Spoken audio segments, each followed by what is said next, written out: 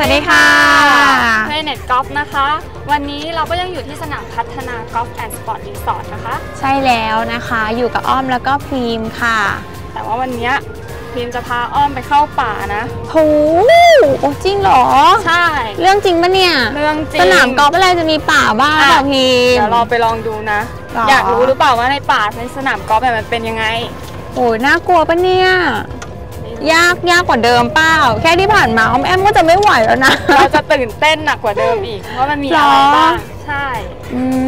มน่าลุ้นเนาะเก็บอาการเก็บอาการไว้นิดนึงนะอืมอือย่ามเพิ่งอืมอย่าเพิ่งแบบอย่าเพิ่งอยากรู้มากนะโอเดี๋ยวเราเคไปโอรู้เคทีโอเดียวเคเลยโอเคได้ได้ได้ได้ได้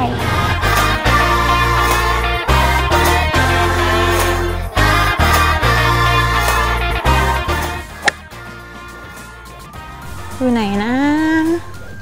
นู่นไง แล้วก็ตีติดต้นไม้อีกแล้ว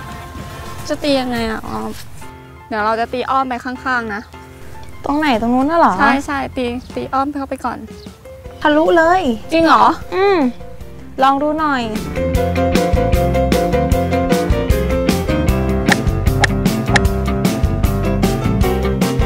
ก็ตีได้นี่นาไม่เห็นติดต้นไม้แต่ว่าเลถ้าย ตีอ้อมเนี่ยมันจะตีง่ายกว่าหรือเปล่า อันนี้มันตีแล้วหลังบอลไงเห็นเปล่า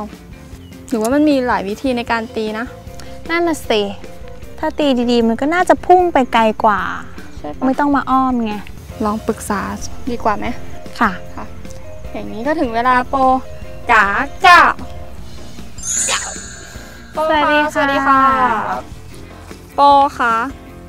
คือเมื่อตะกี้พีมเนี่ยตีลูกลอดไปค่ะ แต่คือจริงๆอะพีมอยากจะตีอ้อม แต่ว่าด้วยแรงยุของเพื่อน ก็เลยตี ข้ามไป ก็ตรงนี้มันใกล้ๆอะค่ะ โปรเนี่ย ตีแป๊บเดียวก็ทะลุเข้าไปเลยธงก็อยู่ข้างหน้านี้แล้ว ก็โดยโดยธรรมชาติแล้วเนี่ย เวลาเวลาคนคนที่เขามีสกิลอยู่อยู่ในระดับที่ที่ดีระดับหนึ่งแล้วเนี่ยค่ะ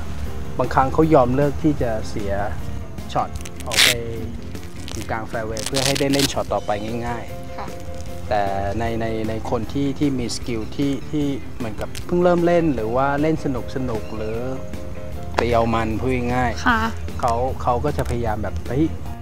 ตีเลยอ่าตีเลยเลยพยายามที่จะตีแบบ miracle shot ที่แบบอืมเป็นช็อตมหัศจรรย์เลยวันนี้ฉันขอทำช็อตมหัศจรรย์หน่อย แสดงว่าช็อตแบบเนี้ยก็คือเหมือนพวกเหมือนพวกพีมหัดเล่นอะไรเงี้ยก็เลยแบบอยากจะตีอย่างนี้ใช่ไหมคะคือหรือว่าขึ้นอยู่กับ หลาย ๆ ความคิดของต่างคนอะไรอย่างงี้ป่ะคะโป ก็จริง ๆ แล้วมองได้ 2 แบบ แบบที่ 1 ก็คือ วันนี้เรามาพักผ่อนฉันตีเอามันอืมอันนี้ผมไม่ห้าม แต่อีกมุมหนึ่งปุ๊บ ฉันต้องการคีปสกอร์ต้องการทำคะแนนที่ดีปุ๊บ เราก็ต้องคิดให้มันลึกอีกนิดนึงนะครับบางครั้งเราต้องประเมินตัวเราเองให้ให้มันด้อยลงนิดนึงค่ะนะครับ เพราะว่าแม้กระทั่งพวกระดับ PGA Tour Players ที่เขาเล่นดีๆ กันอือหือเขาเห็นอย่างนี้เขาสามารถตีได้นะ แต่เขาเลือกที่จะไม่ตีอืมเพราะว่าเพราะว่ามันไม่ได้เป็นช็อตชี้เป็นชี้ตายว่าเขาชนะในทัวร์นาเมนต์นั้นค่ะเพราะฉะนั้นน่าจะเห็นภาพชัดขึ้นค่ะค่ะนะครับโอเคอย่างนั้นเดี๋ยวให้พรีมเล่นในช็อตเดิมแต่ตีออกไปตรงนี้ได้ครับนะครับเป็นเป็นไอเดียนะครับลองเปลี่ยนดูเออโอเคนะครับค่ะวันนี้ค่ะ ก็เล่นให้สนุกค่ะแล้วเดี๋ยวเราว่ากันใหม่ได้ยังไงก็ขขออบบคุคุณณโปมากเลยนะคะค่ะขอบคุณค่ะรับหายไปอีกแล้วไวมากเลย มาไวเค็มไวนะเนี่ยโปอืมก็แนะนำกันไปเนอะอันนั้นก็เป็นแบบช็อตเอามันนะคะใช่เล่นแบบสนุกสนุกๆแต่เดี๋ยวถ้าเกิดว่าวันนี้เราจะมาตีแบบเอามันหรือว่าเราจะเอาแบบ save score เมื่อกี้เอามันไปแล้วคราวนี้เรามาเซแบฟบ save score ใช่ไหมใช่แล้วนะโอเคโอเคอะลองพรีมลองลองดูตีดูซิ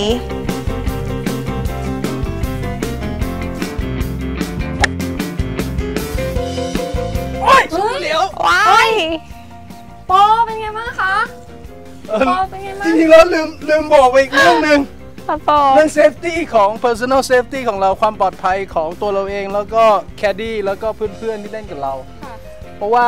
ไอ้จริง ๆ แล้วเนี่ยเราไม่รู้หรอกเวลามันเด้งโดนต้นไม้เนี่ยลูกมันจะไปทางไหน มันไม่มีใครสามารถควบคุมได้ ค่ะเพราะฉะนั้นย้อนกลับไปเรื่องที่หนึ่งโอเค เราเล่น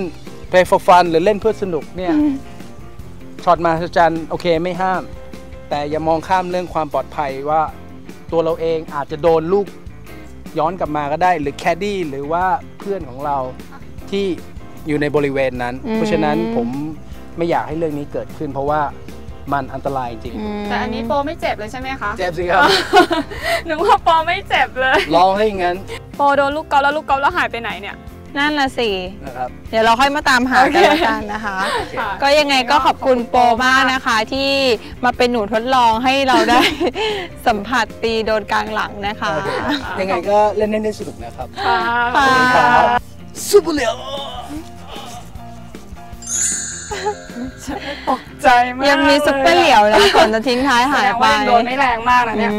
มแต่ก็ยังแอบยิ้มอยู่แต่มีความสุข ใช่ของใส่จะโดน เอาเป็นว่าวันนี้เราก็ลองช็อตนี้ไปแล้วใช่ปะใช่ค่ะอือฮึต่อไปเดี๋ยวเรามาลองช็อตที่ save score กันบ้างดีกว่าค่ะ ได้ค่ะไป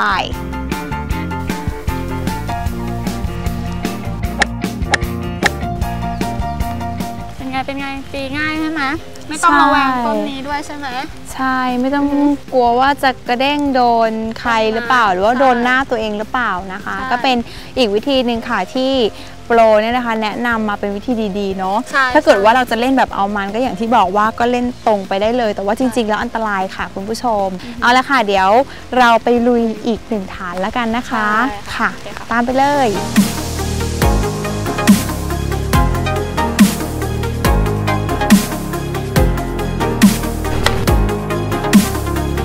โอ้ยพิมพ์ตีเท่าไหร่ก็ตีไม่ไกลเลยอะมันเป็นช็อตที่ยากไง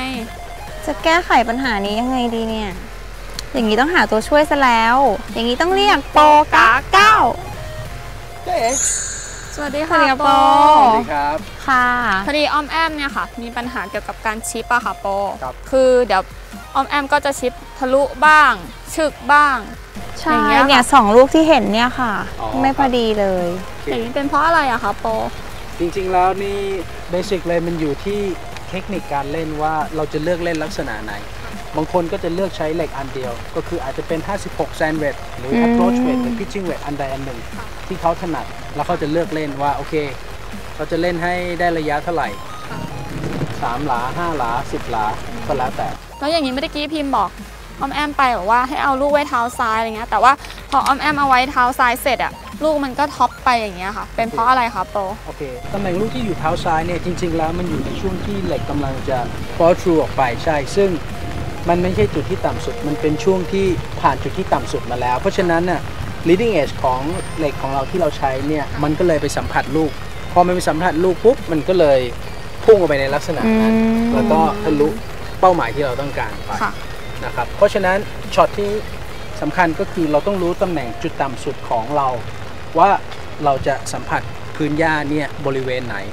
เราจะรู้ได้ยังไงว่าเฮ้ยจุดต่ำสุดของเราอยู่ไหนก็คือสิ่งแรกเราคือลองสร้างจังหวะในการชิปช้าๆแล้วเราก็จะเห็นว่าเออ จริง ๆ แล้วเนี่ยเราเห็นน่ะใบเหล็กของเราเนี่ยสัมผัสหญ้าบริเวณไหนโอเค แล้วก็จะมีเทคนิคหนึ่งที่เราจะสามารถเล่นได้นะครับ ซึ่งผมเองก็เลือกใช้สเตชันลักษณะนี้เพื่อที่จะ สอน beginner หรือแม้กระทั่ง tour player ที่ว่าต้องการหาจังหวะสร้างจังหวะตรงนี้ อย่างนั้นเราไปดูกันไหมค่ะโอเคครับไปอย่างแรกก็คือเราจะใช้ทีนะครับ ทีปักลงไปแล้วก็ให้ลูกลอยอยู่เหนือหญ้านิดหนึ่งนะครับ ผมไม่มากจนเกินไปนะครับอือฮึตามเท่าที่เห็นนะครับ แล้วก็สร้างจังหวะของตัวเองอย่างเบาๆง่าย ๆ แล้วเราก็จะเห็นลูกเนี่ย โรลไประยะสัก3 9 5 9 10 9 12 9 พอเราเริ่มคุ้นเคยกับตรงนี้ปุ๊บเราก็พยายามหาจังหวะของตัวเราเองว่าเราจะเล่นลักษณะไหนโอเคอย่างนั้นเรามาเลือกเหล็กที่เราต้องการจะเล่นกันก่อนว่าเราจะเลือกเหล็กอันไหนกันค่ะโอเคออมแอมเนี่ยจะเลือกเหล็กลักษณะไหนครับเนี่ยตัวนี้ไหมค่ะอ่าโอเคออมแอมเลือก approach weight นะครับเดี๋ยวเราจะให้ออมแอมลองเล่นดูนะครับว่าเวลาเราปักทีไปแล้ว ออมแอมจะสร้างจังหวะในการชิปรอบๆกรีนได้ดีขึ้นไหมนะครับ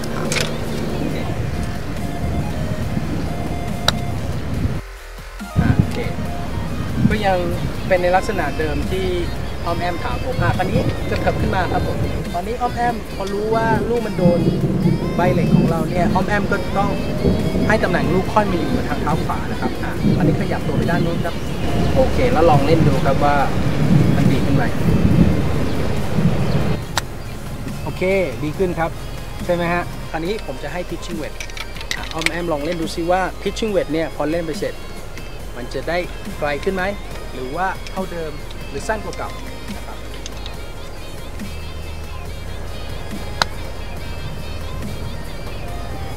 โอเคได้ไกลขึ้น ค่ะคิดได้ว่าไกลเป็นไงครับขึ้น ก็